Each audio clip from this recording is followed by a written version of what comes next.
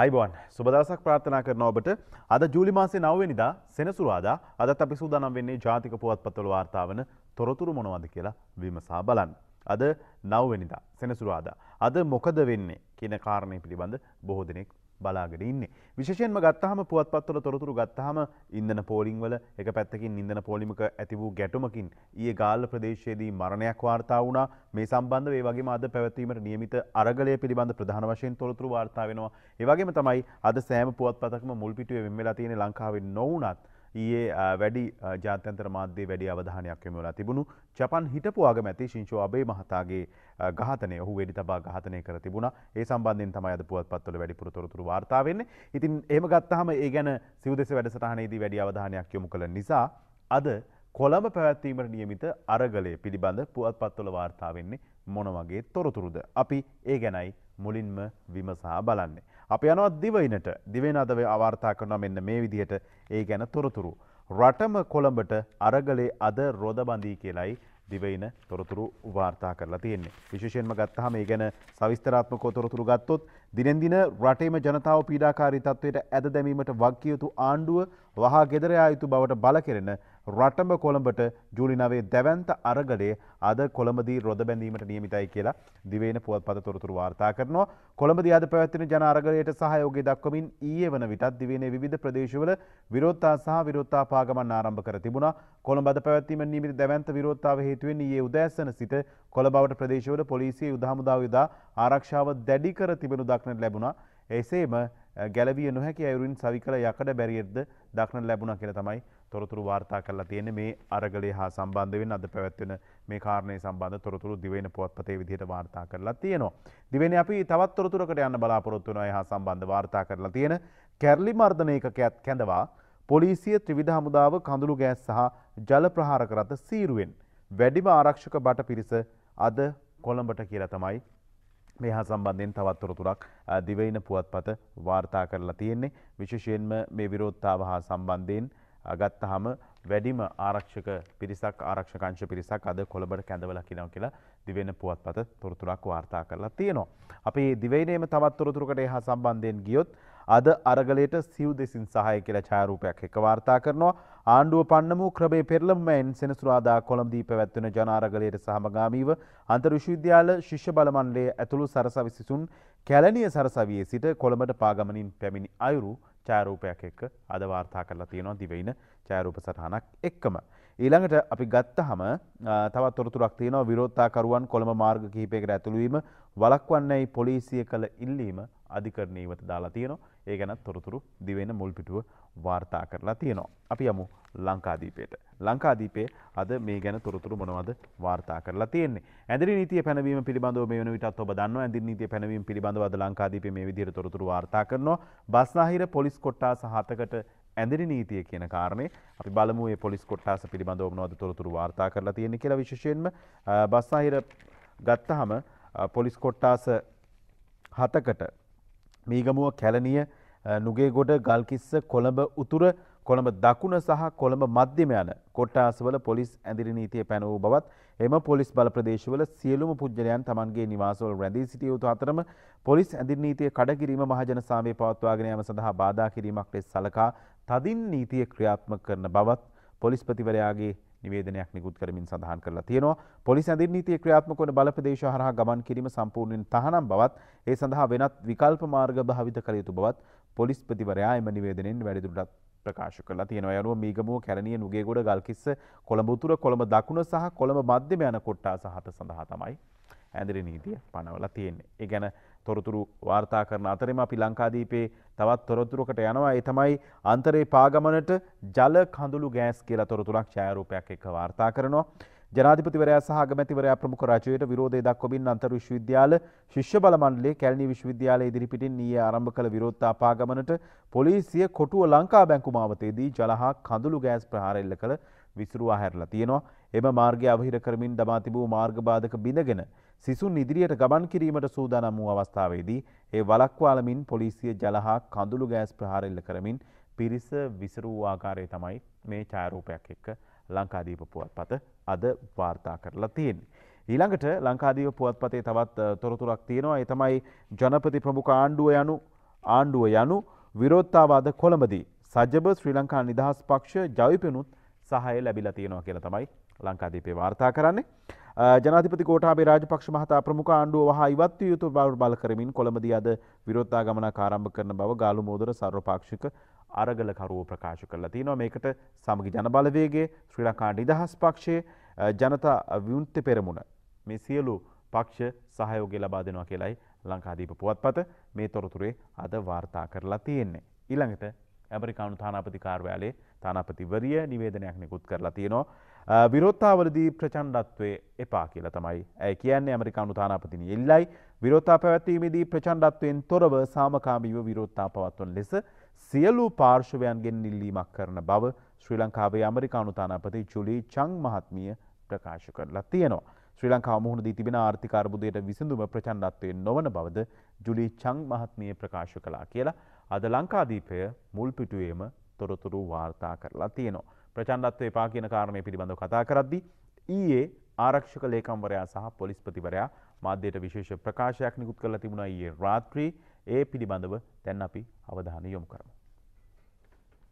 වර්තමානයේ අපේ රට තුළ උද්ගත වෙලා තියෙන ආර්ථික සහ සමාජීය අර්බුදකාරී තත්ත්වය ඒ වගේම නොසන්සුන්කාරී ස්වභාවය සැලකිල්ලට අරගෙන සාමකාමීව ඉවසීමෙන් යුතුව එය පාලනය කරන්න සහයෝගය ලබා දෙන්න කියලා මම ප්‍රථමයෙන්ම ඔබ සියලු දෙනාගෙන්ම ආරක්ෂක ලේකම්වරයා වශයෙන් ඉතාමත්ම කාරුණිකව ඉල්ලා සිටිනවා. ප්‍රජාතන්ත්‍රවාදී රාමුවක් ඇතුළත ඕනෑම ශ්‍රී ලාංකිකයෙකුට සාමකාමී ලෙස තම උද්ඝෝෂණ සහ විරෝධතා පළකිරීමට ඇති ප්‍රජාතාන්ත්‍රික අයිතියට අපි සියලු දෙනාම ගරු කරනවා. එහෙත් මේ වන විට ලැබිලා තියෙන තොරතුරු වලට අනුව මෙම සාමකාමී අරගලය මුවාවෙන් ප්‍රචණ්ඩකාරී ක්‍රියා සිදු කිරීමේ අවදානමක් ඇති බව අනාවරණය වෙලා තියෙනවා. මෙවැනි යටි අරමුණු පෙරදෙරි කරගෙන ක්‍රියාත්මක වන සමහර කණ්ඩායම් මගින් සාමාන්‍ය ජනතාව ප්‍රකෝපකාරී ක්‍රියාවන්හි නිරත වීම සඳහා පොළඹවා ගැනීමෙන් පසුගිය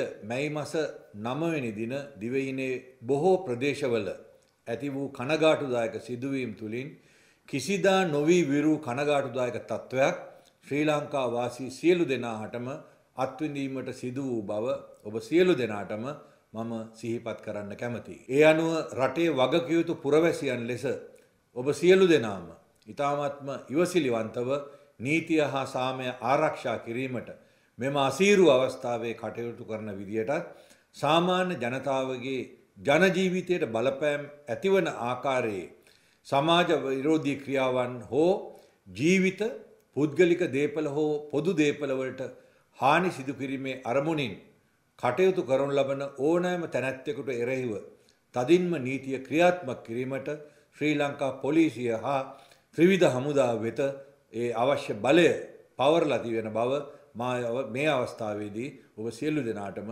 දන්වා සිටිනවා. ඒ වගේම හදිසි අවස්ථාවන්හිදී මාතෘ භූමියේ ඔබ සැමගේත් ආරක්ෂා වෙනුවෙන් කැපවී ක්‍රියා කරනු ලබන ශ්‍රී ලංකා පොලිසිය සහ ත්‍රිවිධ හමුදාව වෙත ඔබගේ සහයෝගය ලබා දෙන ලෙස ආරක්ෂක අමාත්‍යංශයත් ඒ වගේම මහජන ආරක්ෂක අමාත්‍යංශයත් මහජනතාවගෙන් ඉතා කරුණාවෙන් ඉල්ලා සිටිනවා. ආරක්ෂක අමාත්‍යංශයේ ලේකම්තුමා ප්‍රකාශ කර පරිදිම රටේ නීති හා සාමය ආරක්ෂා කිරීමටත් ජනතාවගේ ජීවිත හා දේපළවල ආරක්ෂාව තහවුරු කිරීමත් ශ්‍රී ලංකා පොලිසිය පරම වගකීමක් වෙනවා. ඇතැම් අමිහිරි සිදුවීම් සිදුවිය හැකි බවට පරවී ඇති වාර්තා මෙන්ම ලැබී ඇති බුද්ධි තොරතුරු මත මහජනතාවගේ ජීවිත හා දේපල ආරක්ෂා කර ගැනීම සඳහා ඇඳිරි නීතිය පනවා තිබෙනවා. ඒ අනුව පවත්නා ඇඳිරි නීති තත්ත්වය සැලකිල්ලටගෙන තම නියස්වලට වී සාමකාමීව කටයුතු කරන ලෙස මා සියලු දෙනාගෙන්ම ඉල්ලා සිටිනවා. හොඳයි අපි අවධානය යොමු කළේ ඊයේ ආරක්ෂක ලේකම්වරයා සහ පොලිස්පතිවරයා මාධ්‍යයට විශේෂ ප්‍රකාශයක් නිකුත් කරලා තිබුණා අද පැවැත්වෙන මේ විරෝධතා පිළිබඳව ඒ වගේ ක්‍රියා කළ යුතු ආකාරය සහ නීතිය ක්‍රියාත්මක වන ආකාරය පිළිබඳ ඒ පිළිබඳව අවධානය යොමු කළේ. දැන් මේ විරෝධතා දීර්ඝ කාලයක් තිස්සේ ආරම්භ වෙන හේතු තියෙනවා. ජනතාව විවිධාකාරයෙන් පීඩාවට පත් වෙලා ඉන්නවා. ඉන්ධන නැහැ එක පැත්තකින්, එක පැත්තකින් ගෑස් නැහැ, එක පැත්තකින් ඖෂධ හිඟයක් තියෙනවා. මේ සෑම දෙයකින්ම ජනතාව පීඩාවට පත් වෙලා ඉන්න නිසා තමයි මේ අරගලවලට ජනතාව මේ තරම් උනන්දු වෙන්නේ. සෑම කෙනෙක්ම මේ ප්‍රශ්නවලින් මේ වෙනකොට දැවැන්ත විදිහට බැට කනවා. කොහොම වුණත් ඒ ජනාධිපතිතුමා නිවේදනයක් නිකුත් කරලා තිබුණා. අපි ඒ ගැන ඊළඟට අවධානය යොමු කරන්න බලාපොරොත්තු වෙනවා. දිනමින පුවත්පතේ ගැන මෙන්න මේ විදිහට වාර්තා කරනවා. තෙල් ගෑස් ඔසු නොකඩවා දීමට සැලසුම් හදා අවසන්. විපක්ෂයේ වැඩවලින් රට යලි ආපස්සට යනවා. ජනතාව සැබෑ තත්ත්වය අවබෝධ කරගත යුතුයි කියලා තමයි ජනාධිපතිතුමා නිවේදනයක් නිකුත් කරමින් සඳහන් කරලා තියෙන්නේ. සවිස්තරාත්මකව මේ ගැන විශේෂයෙන්ම අවධානය යොමු කළොත් ඉන්ධන ගෑස් ඖෂධ ඇතුළු අත්‍යවශ්‍ය භාණ්ඩ බෙදා හැරීමට සැලසුම් කර අවසන් බවත් පවතින තත්ත්වයේ තවත් දින කිහිපයක් ඇතුළත විසඳන බවත් ජනාධිපති ගෝඨාභය රාජපක්ෂ මහත්මයා ඊයේ ප්‍රකාශ කරලා තියෙනවා. රටේ පවතින තත්ත්වයේ ඉතා සැලසුම් සහගතව සහ දීර්ඝ වෑයමකින් පසු විසඳුම් ළඟා කරගෙන ඇති මේ මොහොතේ විපක්ෂයේ දේශපාලන කණ්ඩායම් ජනතාව නොමග යවමින් ගෙන යන වැඩපිළිවෙල ඉතා කනගාටුදායක බවද ජනාධිපතිවරයා පවසනවා. මාධ්‍ය නිවේදනයක් නිකුත් කරමින් ජනාධිපතිවරයා පවසන්නේ මෙමගින් රට නැවතත් ආපස්සට ගමන් කරනු ඇති බවයි. අත්‍යවශ්‍ය ඖෂධ තෝග මේ වෙනුවටත් ලැබී තිබෙනවා. ඉන්දිය ණය පහසුකම් යටතේ පොහොර මෙට්‍රික් ටෝන් 65,000ක් කැණවුම් කර තිබෙනවා. එහි පළමු පොහොර මෙට්‍රික් ටෝන් 44,000ක් රැගත් නෞකාව අද මෙරට ළඟා වීමට නියමිතයි. ඒ වගේම ඉන්ධන ගෑස් සහ අනිකුත් දේවල් මේ වෙනකොට ආනයනය කරන්න අඛණ්ඩව ලබා දෙන්න පියවර අරගෙන තියෙනවා කියලා තමයි ජනාධිපතිතුමා නිවේදනයක් නිකුත් කරමින් සඳහන් කළේ.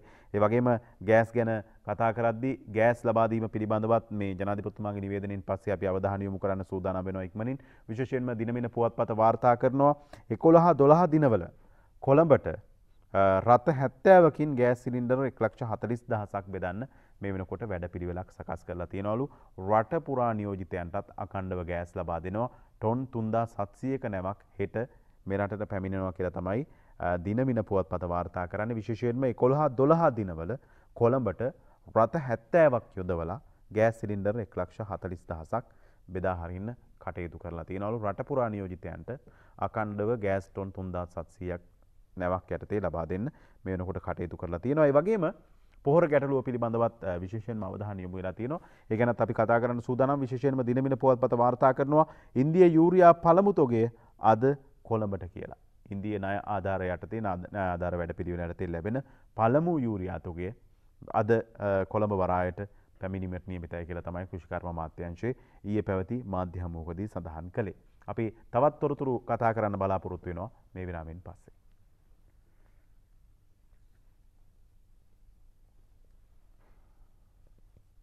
ගෑස් සහ විදුලි බිලට මෙන්න විසඳුම. රුපියල් 15කින් කෑම වේලක් පිස ගන්න.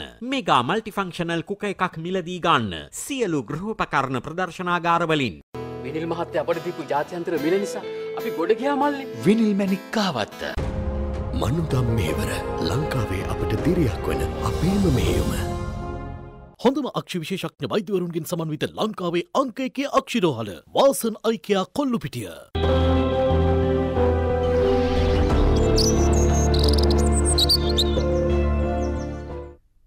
හොඳ අපි නැවතත් පුවත්පත් තොරතුරු වෙතයි අවධානය යොමු කරන්නේ. විශේෂයෙන්ම දැන් මේ තෙල් පෝලිං වල දවස් 4 5 ඉන්නකොට මේ තියෙන තත්ත්වයක් එක්ක යම් ආකාරයක පීඩාකාරී තත්ත්වයක තමයි ඔබ ඉන්නේ. නමුත් අපේ මනුස්සකම මොන විදිහටවත් නැති වෙන්න බෑ. මේ හැමෝම ඉන්නේ පීඩාවකට පත් වෙලා. හැමෝම ඉන්නේ ජීවිතයේ දුෂ්කරම අවධිය ගත කරමින්. මේ වගේ තත්ත්වයන් වලදී අපි අපි ගහමරා ගැනීම කෙතරම් කනගාටුදායකද? මේ වගේ බොහොම කනගාටුදායක සිද්ධියක් ඊයේ ගාල්ල ප්‍රදේශයෙන් වාර්තා වුණා.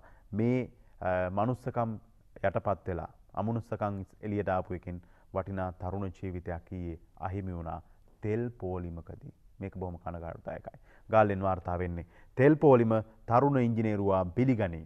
පහරදී කපා කොටා මරලා අටක් අත්අඩංගුවට තුනක් රෝහලේ.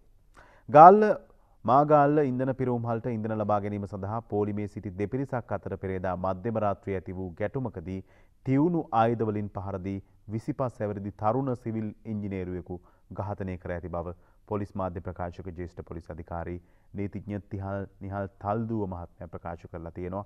එම ගැටුමේදී තවත් පුද්ගලයන් තිදෙනෙකු තුවාල ලබා කරාපිටිය රෝහලට ඇතුළත් කර ඇති බවද ඔහු සඳහන් කරලා තියෙනවා. මේකෙදී තොරතුරු වාර්තා වුණේ තෙල් පොලිමේ ඉන්න යාළුවෙක් බලන්න ගිහිල්ලා වාහනේ එතන නවත්තලා තියෙද්දි වාහනයක් ඉස්සර කරලා නැවැත්තුවා කියන කටයුත්තත් එක්ක තමයි සිද්ධියත් එක්ක තමයි මේ ආරවුල ඇති වෙලා තියෙන්නේ කොහොමුණත් පහර දීලා කපා කොටලා තමයි මරලා තියෙන්නේ. ඒකයි මං කිව්වේ තෙල් පෝලිං වල මේ දවස්වල මිනිස්සු ඉන්නේ හැමෝම පීඩනේ.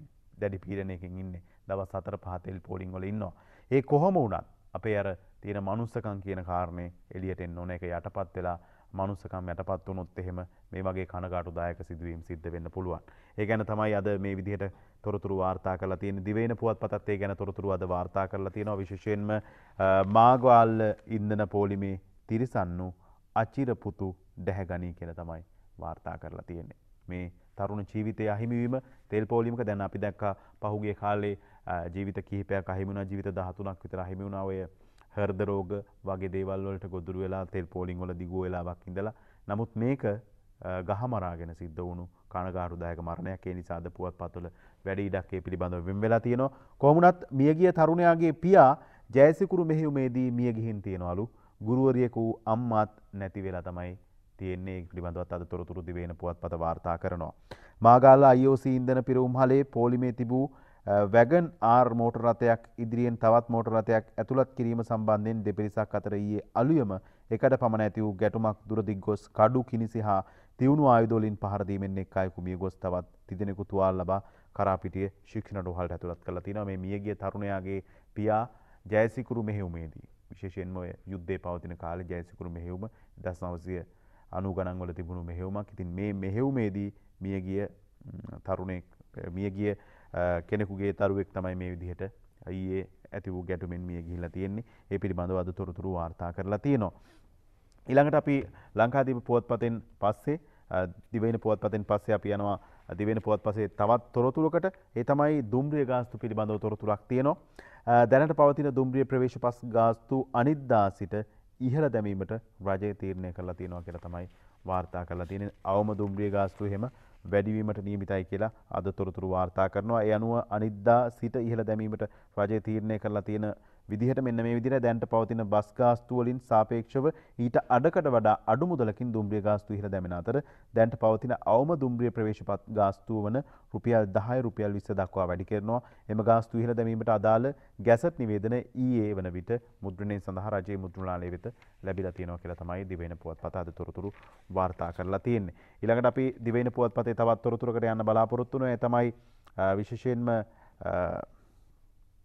තවත් තොරතුරු කිහිපයක් දිවෙන පුවත්පතින් පස්සේ අපි යනවා ලංකාදීප පුවත්පතට ලංකාදීප පුවත්පත වාර්තා කරන තොරතුරු අතරේ ඊට කලින් අපි යන්න බලාපොරොත්තු වෙනවා දිනමින පුවත්පතට දිනමින පුවත්පත වාර්තා කරන විශේෂයෙන්ම රුසියාවට දැමූ සම්බාධක ශ්‍රී ලංකාවට අදාළ නැහැ කියලා තොරතුරක් තියෙනවා. ඒක ශ්‍රී ලංකාවේ ඇමරිකානු තානාපතිනිය තමයි කියන්නේ. මේ යුක්‍රේන රුසියා අර්බුදයත් එක්ක රුසියාවට දැමූ සම්බාධක ශ්‍රී ලංකාවට අදාළ නැහැ. විශේෂයෙන්ම රුසියාවෙන් ඉන්ධන ලබා ගැනීම සම්බන්ධයෙන් පහුගිය දවස්වල කතාබහක් ඇති වෙලා තිබුණා. ඉතින් ඒත් එක්ක තමයි මේ කාරණේ මතුවෙලා තියෙන්නේ. විශේෂයෙන් ඊළඟට අපි තවත් තොරතුරක් දිනමන පුවත්පතෙන් අවධානය යොමු කරන්න බලාපොරොත්තු වෙන රුසියාව සම්බන්ධයෙන් කතාව ශ්‍රී ලංකාවේ ඇමරිකානු තානාපතිනියගේ ඊළඟට අපි යනවා ශ්‍රී ලංකාවට දෙන GSP සහනය ගැන සාකච්ඡා සාර්ථකයි කියලා තොරතුරක් තියෙනවා ශ්‍රී ලංකාවට GSP සහනය ලබාදීමේ සාකච්ඡා මේ වෙනකොට සාර්ථක මට්ටමකට ඇවිල්ලා තියෙනවා කියලා තමයි සඳහන් වෙන්නේ. ඊළඟට මහජන උපයෝගිතා කොමිසමේ සභාපතිවරයා පහුගිය දවසක කෝප් කමිටුව හමුවෙත් මාධ්‍ය හමුවෙත් සඳහන් කළා ඉන්ධන රුපියල් 250ක වගේ මුදලකට ලබා දෙන්න පුළුවන්කම දෙයක්දී තමයි මේ 400 ගානට ජනතාවට ලබා දෙන්නේ කියලා. මේ ගැන ඊයේ පැහැදිලි කිරීමක් කරලා තිබුණා විශේෂ බාහිර අමාත්‍යවරයා විශේෂයෙන්ම බලශක්ති අමාත්‍යවරයා සහ තෙල් සංස්ථාව. ඒ ගැන අද තොරතුරු තියෙනවා. මහජන උපයෝගිතා කොමිසමේ සභාපතිගේ චෝදනා ගැන ඇමති කංචන පරීක්ෂණයක් ඉල්ලා තියෙනවා. තමන්ව වහාම මේ ගෙන්න්න කෝප් කමිටුව හමුවට ගෙන්නලා තමන්ගේ ප්‍රකාශයක් ලබා ගන්න මේ සම්බන්ධයෙන් කරුණු පැහැදිලි කරන්න සූදානම් කියලා. විශේෂයෙන්ම මහජන උපයෝගිතා කොමිසමේ සභාපතිගේ ප්‍රකාශය බොරු කියලා තෙල් සංස්ථාවත් ඊයේ විශේෂ නිවේදනයක් නිකුත් කරමින් සඳහන් කරලා තිබුණා. ඔහු දත්ත මේ ලබා ගැනීමේදී අම්මාකාරයක මගහැරීමක් කරලා තමයි මේ තොරතුරු සමාජයට ඉදිරිපත් කරලා තියෙන්නේ කියලා තමයි තෙල් සංස්ථාව ප්‍රකාශ කරලා තිබුණේ. ඒ ගැනත් අද තොරතුරු දිනමින පුවත්පත වාර්තා කරලා තියෙනවා. අපි ඊළඟට ලංකාදීප පුවත්පතට යනවා. ලංකාදීප පුවත්පත තොරතුරක් වාර්තා කරලා තියෙනවා. කළුතර පොහොට්ටු මන්ත්‍රී පින්කම් ගෙදරදී අහසට වෙඩි තබා පලා ගිහින් කියන තොරතුරක්. විශේෂයෙන්ම ශ්‍රී ලංකා පොදුජන පෙරමුණේ කළුතර දිස්ත්‍රික් පාර්ලිමේන්තු මන්ත්‍රී ලලිත් වර්ණකුමාර මහතා ඊයේ අලුයම හොරණ දොඹගොඩ ප්‍රදේශයේ නිවසක් ඉදිරිපිට අහසට වෙඩි තබා පලා ගොස් ඇති බවට ලද තොරතුරක් ඔස්සේ අඟුරුවාතුර පොලිසිය පරීක්ෂණයක් ආරම්භ කරලා තියෙනවා. දොඹගොඩ නිවසක මියගිය තැනැත්තියකගේ තෙමස් පූර්ණ පින්කම පෙරේදා රාත්‍රී පැවැත්වී අතර ඒ සඳහා ලද ආරාධනාවකට අනුව මන්ත්‍රීවරයා සහභාගි වෙලා තියෙනවා. එහිදී ඇති වූ බහින්බස් වීමක් ගැටුමක් සම්බන්ධයෙන් උරණ වෙලා තමයි මේ විදිහට වෙඩි තබලා තියෙනවා කියලා තොරතුරු අද වාර්තා වෙලා තියෙන්නේ. පුවත්පත් කීපයකම ඒ ගැන තොරතුරු වාර්තා කරලා තියෙනවා. ඊළඟට පළමු ශ්‍රේණියට සිසුන් ඇතුළත් කිරීමේ අයදුම්පත් කැඳවීම අගෝස්තු පළවෙනිදා දක්වා දීර්ඝ කරලා තියෙනවා කියලා තොරතුරුකුත් අද වාර්තා කරලා තියෙනවා. ඒ පිළිබඳවත් අවධානය යොමු කරලා තියෙනවා. ඊළඟට අපි යනවා තවත් තොරතුරකට ලංකාදීප පුවත්පතේ ඒ තමයි මේ හජ් උත්සවය පිළිබඳව තොරතුරක් තියෙනවා. ඊට කලින් කුකුළු මස් බිත්තර තව මාස 3කින් නැහැ කියලා තොරතුරක් තියෙනවා. විශේෂයෙන්ම කුකුළු කොටු භාගයක් වැහිලා සංගම් සභාපතිවරයා සඳහන් කරලා තියෙනවා මේ තියෙන ආර්ථික අර්බුදේ වගේම ආහාර හිඟතාවේ මේ ආදී කාරණා නිසා කුකුළු ගොවිපළ පවත්වන්න බෑ කියලා. ඒ නිසා කුකුළු මස් බිත්තර තව මාස 3කින් නැති වෙයි කියලා තමයි කුකුළු කොටු භාගයක් වැහිලා තියෙනවා කියලා තමයි සංගම් සභාපතිවරයා සඳහන් කරලා තියෙන්නේ ලංකාදීප පුවත්පත වාර්තා කරනවා. ඒ වගේම හජ් උත්සවය ගැන තොරතුරක් තියෙනවා. හජ් උත්සවයේ හෙට කියලා ලෝපුරා ඉස්ලාම් බැතිබතුන් මහත් බැතියෙන් සමරන හජ් උත්සවයේ හෙටට යෙදී තිබෙනවලු. ඉස්ලාම් දහමට අනුව ලොව මුල්ම මිනිසා ලෙස සැලකෙන නබිතුමන්ගේ කැපකිරීම හා පරිත්‍යාගයේ සපිරුණු සිදුවීම් මූලික කරගනිමින් මෙම දිනේ සමනු ලබනවා කියලා තමයි සඳහන් කරන්නේ. අනුව ඒක හෙටට යෙදිලා තියෙනවා කියලා ලංකාදීප පුවත්පතත් තොරතුරු වාර්තා කරලා තියෙනවා. ඊළඟට මේ දවස්වල තියෙන ඉන්ධන අර්බුදයත් එක්ක තවත් විශේෂ තොරතුරක් තියෙනවා ලංකාදීපය ඇතුල් පිටුවක ගොන් කරත්තෙන් රෝගියා රෝහලට හිටපු මන්ත්‍රී වෛද්‍ය සිවමෝගන් මුලතිව් නගරේ විරෝධතාවක නිරත වෙලා තියෙනවා ඡායාරූපයක් එක්ක අයද වාර්තා කරන්නේ. ඉන්ධන අර්බුදයේ හේතුවෙන් රෝගීන් ඇතුළු ජනතාව පීඩාවට පත්ව ඇති බවත් ඉන්ධන අර්බුදයට කඩිනමින් විසඳුම් ලබා දෙන ලෙස රෝගියෙකු ගොන් කරත්තයක නංවා ප්‍රතිකාර කරමින් දෙමළ ජාතික සන්ධානයේ මුලතිව් දිස්ත්‍රික් හිට පාර්ලිමේන්තු මන්ත්‍රී වෛද්‍ය සිවමෝගන් මහතා ඊයේ මුලතිව් නගරේ විරෝධතාවක නිරත වෙලා තියෙනවා රෝගියාව ගොන් කරත්තයක තියාගෙන ප්‍රතිකාර කරන ආකාරය තමයි ඡායාරූපයක් එක්ක අද වාර්තා කරලා තියෙන්නේ. අපි ඊළඟට යන්න බලාපොරොත්තු වෙනවා කාටුන් සහ කවි කීපයක් බලන්න පුවත්පත් තොරතුරු අවසන් කරන්න කලින් අපි මුලින්ම යනවා දිනමින පුවත්පතේ අංජනගේ කාටුනේට. මෙන්න මේ විදිහේ කතාබහක් තමයි ඇති වෙලා තියෙන්නේ උද්දමනය ගැන. උද්දමනයේ 70ට ඉහළ යන්න පුළුවන්ලු බං. එතකොට අනිත් එක්කිනා කියනවා මට තේරෙන්නේ නෑ ඔව්වා. ගිහාම තේරෙයි කියලා එතකොට පිළිතුරක් හම්බෙනවා. ඊළඟට අපි ලංකාදීපයට යනවා. ලංකාදීපේ පංකජ රුවින්දගේ සරදම් කාටුනේ. තෙල් නැතිව මන්ත්‍රීවරු 50ක් ගමේ හිර වෙලාලු. ඇයි අපි විතරද බයිසිකල් වලින් ගොන් කරත්ත වලින් යන්න ඕන කියලා තමයි එතකොට අහන්නේ. ඊළඟට අපි දිවයින පුවත්පතට යනවා. දිවෙන පුවත්පතේ ජයරත්න වික්‍රමසිංහගේ ෆේස්බුක් කාටුනේ මේ අරගලය ගැන ජනතාවගේ අරගලයට ජය වේවා කියලා කියනවා. මාත් මේ කොළඹ යන ගමන් කියලා තමයි අනිත් පැත්තෙන් කියන්නේ. ඊළඟට අද පුවත්පත් තොරතුරු අවසන් කරන්න ටෝකයි තත්ත්වයේ කවිය තෝරාගත්තා. අරඹා දෙවැනි පාරත් යලි අරගලය අද කොළඹදී පෙන්නනවලු ජනබලය. මොන පැත්තට යයිද කියලා ප්‍රතිඵලය පාලකයන්ගේ රත් වී ඇත ඉහමොලේ කියලයි අද අනුරාධගේ ඔකයි තත්ත්වයේ කවියෙන් කියන්නේ. ඒ කවියත් එක්ක අදට පුවත්පත් තොරතුරු වලින් සමුගන්නවා. හෙටත් හමුයි මේ බලාපොරොත්තුවෙන් ඔබට ප්‍රාර්ථනා කරනවා යහපත් සුබ දවසක්. ඒ වගේම ආයිබෝන් වැඩසටහනත් සමගින් එක්වන්නටත් ඔබට ආරාධනා කරනවා විශේෂයෙන්ම අද ආයිබෝන් වැඩසටහනින් කතා බහ කරන්නේ දේශීය ආහාර පිළිබඳව ආහාර හිඟයක් ලෝක ආහාර ආර්ථික අර්බුදයක් මේ ආදී කාරණා පිළිබඳව කතා කරද්දී දේශීය වශයෙන් නිෂ්පාදනය කරගන්න පුළුවන් නිපදවා ගන්න පුළුවන් ආහාර බොහොමයක් තියෙනවා. ඒව ගැන විශේෂයෙන්ම කතා කරන්න අද ආයිබෝන් වෙන්නනවා. උදැසන 8:30ට ඒ සමගින් එක්වන්නටත් ඔබට ආරාධනා කරමින් සමුගන්නවා. ප්‍රාර්ථනා කරනවා නැවතත් යහපත් සුබ දවසක්. ආයිබෝන්